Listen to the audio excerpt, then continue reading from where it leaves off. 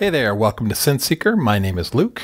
Today we're going to get back to a little Berlin School stuff. We've been uh, over the over the last couple of years now. Actually, we've been talking about various Berlin School techniques.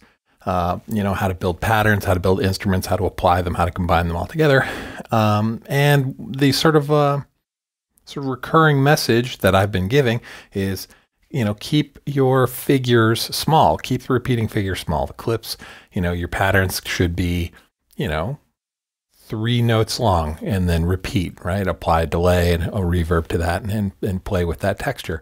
Um, but you can use much longer patterns, and that's the topic of today's video. So uh, I want to talk about how to build slightly longer patterns, okay, by treating them like a voice, like having a conversation. Uh, and I also want to talk about having two voices sort of talking to each other, sort of going back and forth to fill in the gaps. And I'm going to show sort of an extreme example of that, a little hyperactive example. Uh, but, um, you know, you can take what we do today and uh, see if you can apply that towards sort of building longer patterns for your Berlin School sequences and uh, thinking in terms of voices or instruments talking to each other. Okay, uh, so let's dig in. So I've got a little synth here.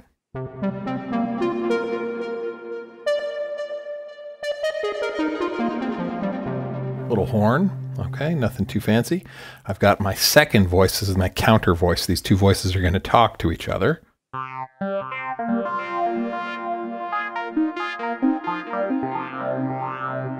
Okay, so those are my two voices I'm going to have talk to each other. I've also got a very simple sort of pad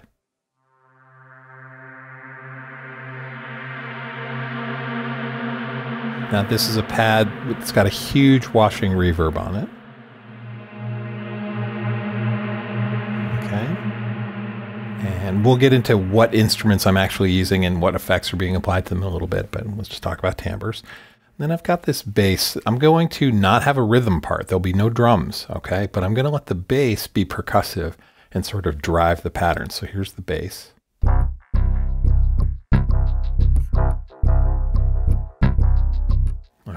And it's a simple bass loop. You can use anything. Uh, and then I've got a lead sound that's. All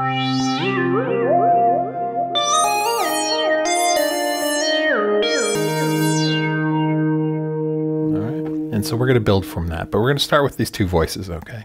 So voice one what is this? Uh, so I've just pulled a bunch of things out of the in the box map. I'm completely inside the DAW. These are all soft synths, no hardware today. Uh, but this would work with hardware, with software, it doesn't matter. Uh, so we're using a little Juno 6, uh, um, little Juno 6 from Arturia, right? Uh, and this is just, you know, Juno 6 sort of brass. Uh, it's a filtered sawtooth wave. Um, and really, uh, there's some quarter note delay being applied to it and some reverb. Okay, and it's just internal within the synth. Okay. Uh, nothing else is being done to that. In the chain, I've got a little utility at the end that's bumping the gain a bit. Just to get the gain staging up. I could just go turn the volume on the synth up, but I tend to use things just as their defaults. And I like having a utility plugin at the end of my chain for being able to tweak things and get them in a range where then the faders are more useful as opposed to pushing faders up or down. Uh, anyway, so that's our horn sound. Pretty wet, right? High delay, high reverb. Okay, our second voice, sort of in the Arturia box today. All right, so this is uh, their virtual MS-20 Mini. Okay, and these are just presets I pulled out of the box, tweaked very slightly. So this is their car keys preset. I wanted something that was kind of percussive, but would also sustain. And the effects that I'm applying to this little MS-20 sound is uh, built-in Ableton Phaser Flanger. I'm using the Ableton it's basically a Ableton's take on Space Echo, basically. Uh, and again, a little utility plugin at the end. Okay, and I've got I pushed up the the pitch and one octave in the MIDI domain, but that's just to make it easier to play on the grid here. All right, so I've got these two sounds. These are my voices. All right, and Okay, so they sound timbrally very different from each other. So it's good. So when we've got them playing at the same time and talking to each other, your ear is going to say, oh, voice one is talking and now voice two is talking. And when they start getting pretty woven together, your ear will be able to differentiate easily who's playing what notes. And it sounds interesting to our little ears and our brains. Okay. So I'm going to start playing this one voice. This is the really wet horn voice.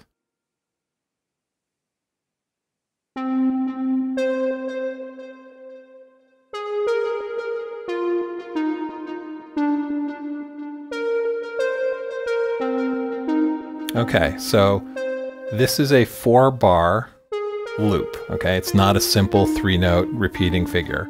This is a phrase, it's a conversation, it's half of a conversation right? You could think of this as something you could sing, and in fact, I did. What I did is I hummed into a microphone, recorded it into Ableton, and then converted it over to MIDI. Ableton has a convert audio to melody or convert audio to harmony or convert drums. If you want to beatbox, you can convert drums over into a drum track. So I basically just hummed this. Now, the beauty of doing that is even if you can't sing a note, right? Um, it'll get the rhythm of what you're trying to say, the conversational rhythm, into a MIDI clip. And then you just drag the notes around and get it to where you want it to be harmonically. All right. Now, that's the first sort of conversational voice. The next one is this other instrument, right? A distinct sound that sounds completely different. Now, if I show you both of these clips together, right, my first clip is this sort of violet one. And then my second voice is this clip, and it's pretty energetic. There's a lot of notes going on there, right? Now, all of this is in the key of C minor, all right? And I force this by, for my clips, going over the clip setting, turning on the scale button and selecting C minor. If you've watched any of the old videos, you know I advocate when you start working on a piece of music, pick a key, right? Pick a scale you're going to work in, and then consistently use that scale against all your clips and things like that. So that's, that's what we've done here. Okay. So this is C minor. So all of the notes, because this is currently the focus is being set to C to a scale mode.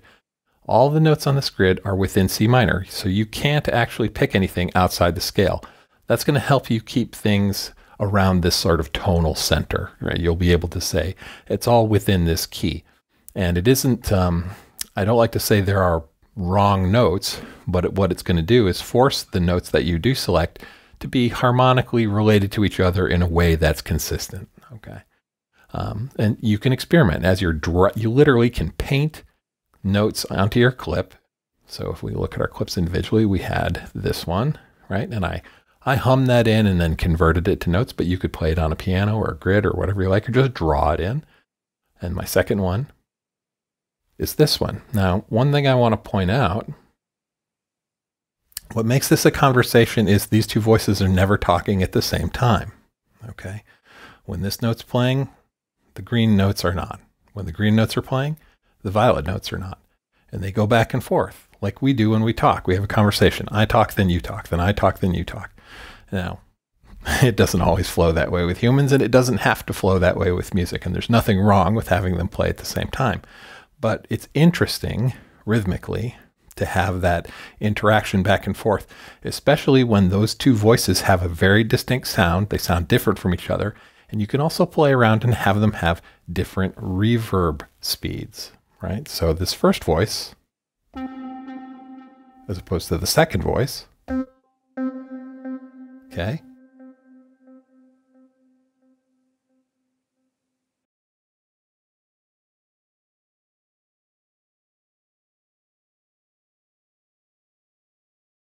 The first voice has an eighth note delay on it. The second voice has a dotted eighth note delay on it. So the second voice, boom, right? Sounds like the first voice is repeating a little faster. It's because it is a quarter note delay. Okay. So what's going to happen is when these two clips start playing against each other, they have uh, separated whose turn, you know, as the clip plays, one voice speaks and then the other voice speaks, right? But their delays are at different rates, and their delays are going to smear and overlap and do interesting things rhythmically. Okay, so let me shut up and let you hear this as it goes. Okay, so here, let me make it so we're just going to hear these two clips.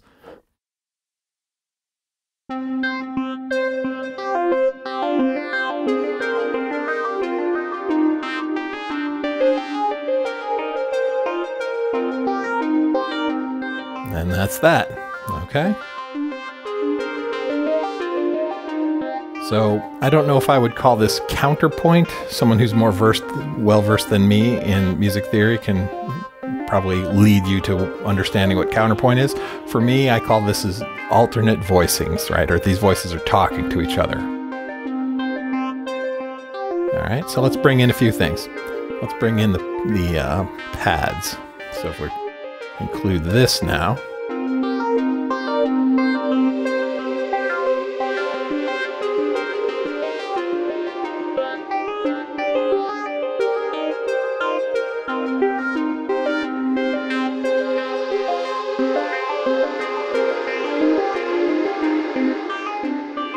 Bring in our bass part. And we'll look at them all together.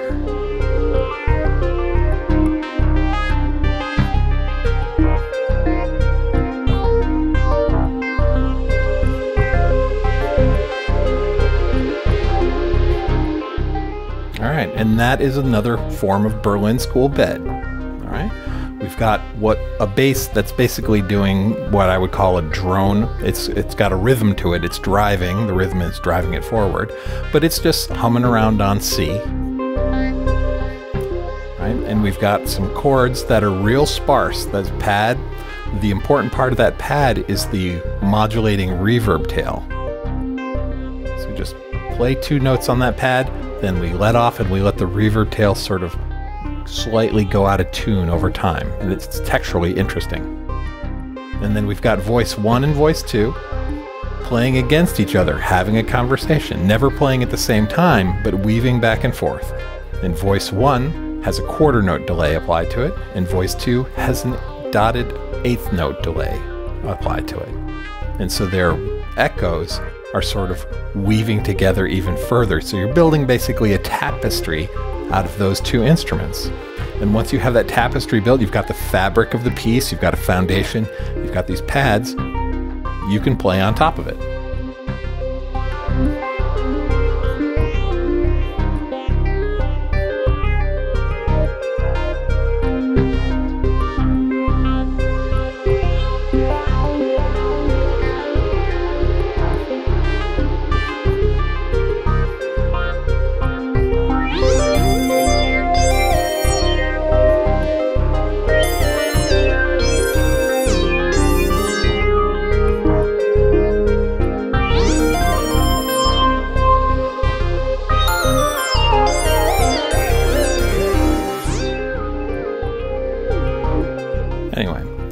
Anyway, the point is not for me to jam today, although that's super fun. Um, what I want you to walk away with is this technique, these two clips, okay? You can have two voices that talk to each other. Leave some space, right? The first voice, the violet voice there, it plays, and then there's leaves a gap. And it plays, it leaves a little gap. It plays. It's basically having a conversation. Then the second voice, the green voice there, is filling in and having the other side of that conversation. Those are both in the same key. They're both working in C minor. All right.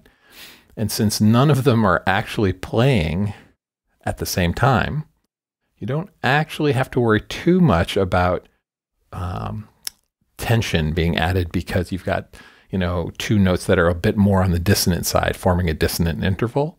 Now, their echoes will do that. And that's, again, interesting to your ear, right? The first voice has a quarter note delay on it, and the second voice has a dotted eighth delay. Uh, but it's something to try, and uh, I hope that's useful for you. All right. So, hey, that's it. A real quick one. I hope this was uh, entertaining and informative. As always, you have been watching Synth Seeker. Have a great weekend.